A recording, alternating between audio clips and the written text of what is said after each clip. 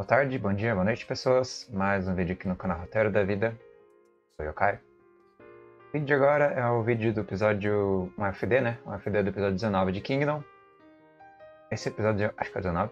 É 19, é 19. Episódio 19. Esse episódio aqui ele consolida o episódio anterior, que a gente teve ali um esquema de ir para uma cidadela, fortaleza chamada Sui, que é tipo a porta de entrada para a cidadela maior, para a cidadela capital que eu não sei o nome, eu sei que é Conchian alguma coisa na escrita, mas a pronúncia é completamente diferente.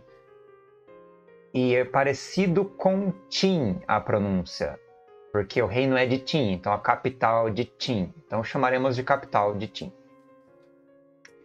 E nessa essa cidadela de Sui, que é uma fortaleza, fica antes de um rio e antes da capital de, de Tim, tem ali todos os civis, que somam cerca de 30 mil, mais ou menos, né, entre homens, velhos, é, debilitados, ex-soldados, por motivos dos mais diversos, doentes, crianças e mulheres, e a população camponesa e comerciante que não é braço armado da nação.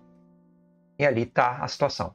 O rei Sei, o Shin, o Feixi, a Ten, a Karioten, é, o braço, o conselheiro da mão esquerda, o conselheiro tem, tem duas alas, a ala esquerda e a ala direita, são os dois conselheiros mais importantes do rei Sei. Dali tá o velhão, que é o cara da armadura marrom, que já passo na imagem para vocês. Na verdade, eu vou passar agora as imagens. Vocês podem ver enquanto eu falo. Essa imagem foi legal. É, então, o cara da armadura marrom, é o conselheiro do rei Sei, Tá ali também como um general, mas mais um general baixo, posso dizer assim, não é um grande general. Entretanto, ele tá ali para dar um suporte. E aí tem aquele esquema lá. O que, que a gente vai fazer?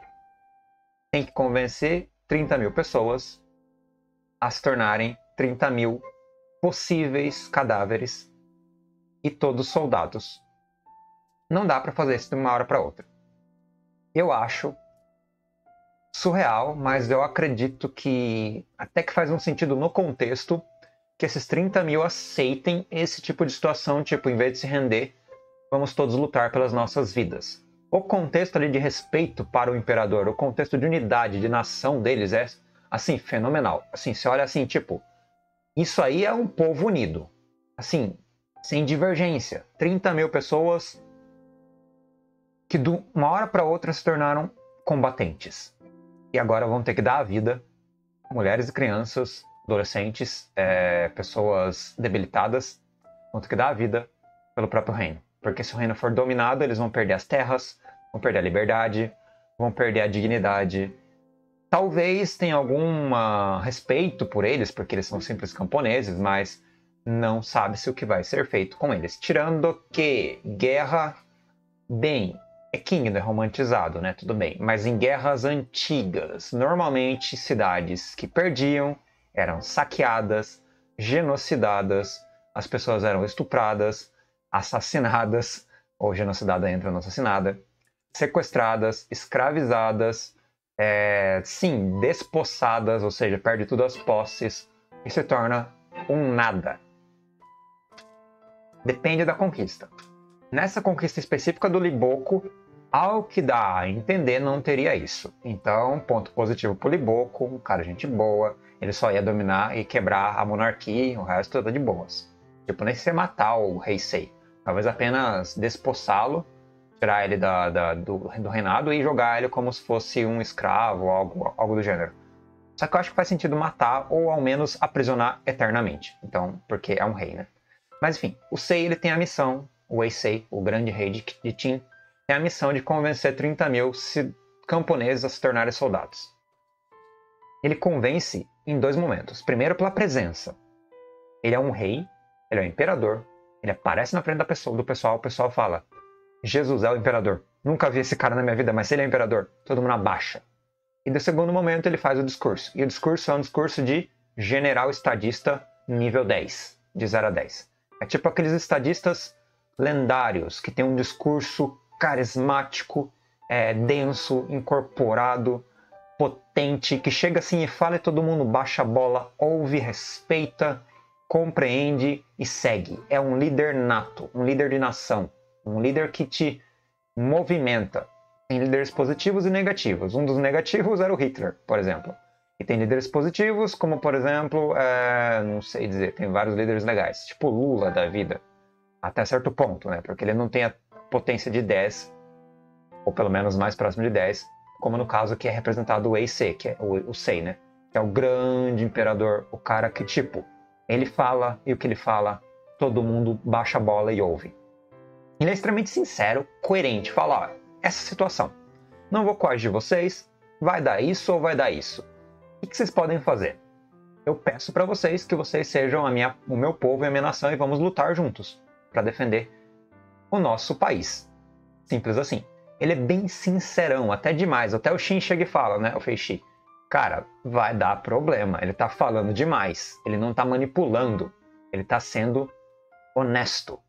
Extremamente honesto. Aí ele consegue fazer o discurso, as pessoas se convencem e montam, se armam, né? E montam um exército improvisado extremamente improvisado mesmo, frágil, absurdamente frágil, que nada mais é do que o povo que não é militar.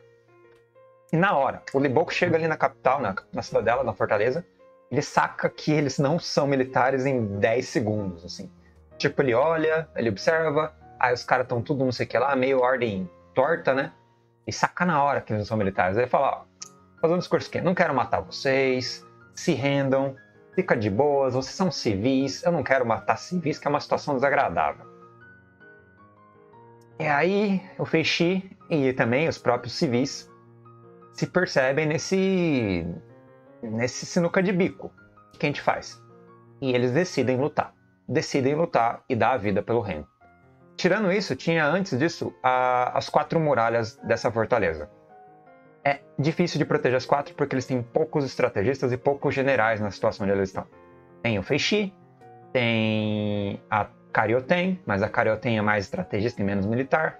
Tem o cara da cavalaria que é o subgeneral do Feixi, que também serve para defender uma parede, um dos muros.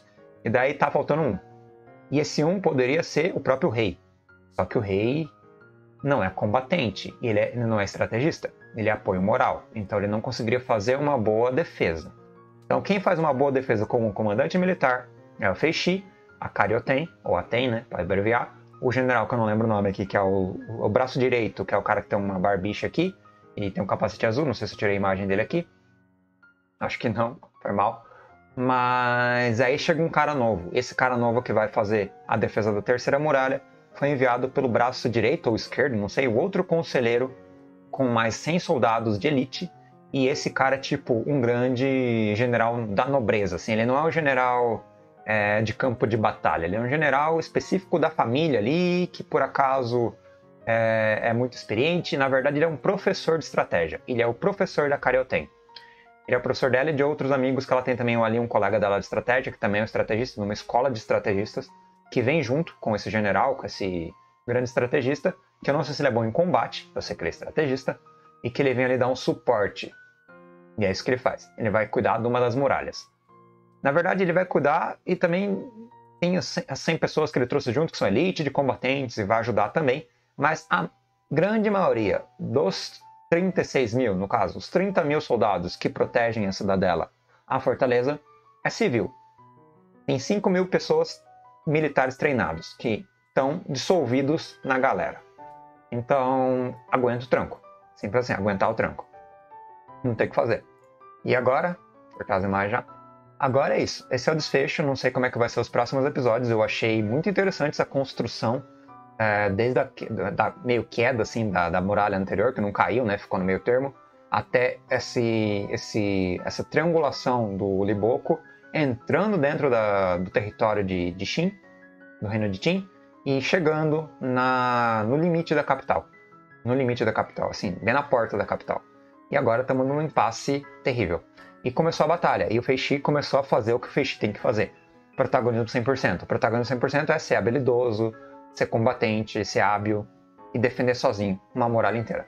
Quase sozinho, né? Porque os civis quase foram aniquilados impiedosamente. Eles não deram nem puxeiro assim para os primeiros invasores da muralha, que tem as escadas, que a muralha não é muito alta e tal. Chegou ali, chegaram chavando, arrebentando tudo. e o Feixe segurou na mão, sozinho, uma galera inteira ali. Então tem um monte de coisa. Eu não sei como é que eles vão aguentar o tranco, mas a situação é bonita, sabe? É uma situação assim, não que seja bonita porque as pessoas vão, sangue e tal, não é bonita nesse lado, mas é uma situação assim, é, é um mito, uma, uma obra, é uma ode, é aquelas odes heróicas, sabe aqueles contos heróicos onde tem uma situação extremamente terrível, difícil e, e angustiante e quase sem esperanças. Então tem todo esse esquema, essa mitologia em volta, essa aura, essa aura de impossibilidade, de ao mesmo tempo de resistência, de coragem.